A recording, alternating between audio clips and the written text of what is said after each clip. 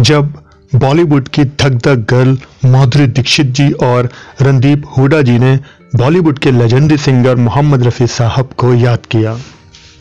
ये बात थोड़ी सी पुरानी है दोस्तों। 2017 की बात है जब इन सेलिब्रिटीज़ ने मोहम्मद रफ़ी साहब के जन्मदिन पर इनको याद किया था। माधुरी दीक्षित जी ने ट्वीट किया, उन्होंने रफ़ी साहब का एक शानदार गाना लिखा, जिसके बोल थे पलकों के पीछे से क्या तुमने कह डाला? फिर से तो फरमाना और कहा कि ये रफ़ी साहब का गाना मेरा फेवरेट गाना है। रफ़ी साहब को याद करते हुए उनके जन्मदिन पर। उधर बॉलीवुड के यंग एक्टर रणदीप हुडा जी ने भी इसी साल 2017 में 24 दिसंबर को रफ़ी साहब को याद करते हुए एक शानदार ट्वीट लिखा। उन्होंने लिखा कि, वो जब याद आए, बहुत याद आए।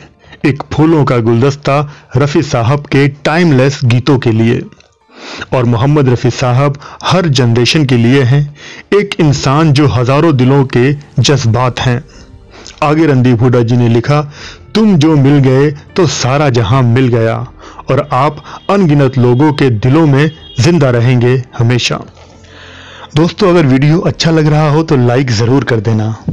और उधर बॉलीवुड के मशहूर सिंगर अरमान मलिक जी ने कहा कि ये एक छोटी सी श्रद्धांजलि मेरे favourite singer legendary Mohammed Rafi साहब को। और आपको हम याद कर रहे हैं और आप सब हमारे दिलों में, हमारे रूह में हमेशा बसे रहेंगे। रफ़ी साहब इंसान ही ऐसे थे कि हर कोई उनको दिल से चाहता है और हमेशा चाहता रहेगा।